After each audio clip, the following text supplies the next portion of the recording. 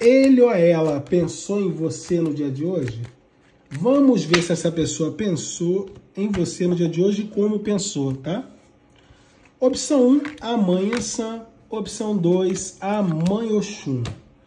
Para você que escolheu a mãe se a pessoa pensou sim em você, pensou com amor, pensou com vontade de ter uma conversa, se a pessoa vai revelar alguma coisa que você não sabe, se a pessoa hoje vê a situação de vocês de uma forma diferente, se a pessoa quer conversar com você, vem surpresas agradáveis em relação a essa pessoa a você.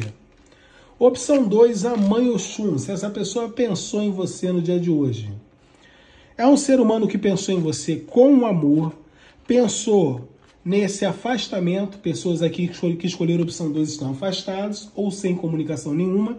Se a pessoa pensou em com amor, pensou com vontade de aproximação, tá? Vejo amigos ou amigas ajudando vocês aí, tá? A poder entrar no eixo. Vem aí positividade para vocês em relação a essa pessoa. Participe da minha promoção onde eu respondo cinco perguntas por um valor simbólico. Meu WhatsApp é o 2198 655 6776.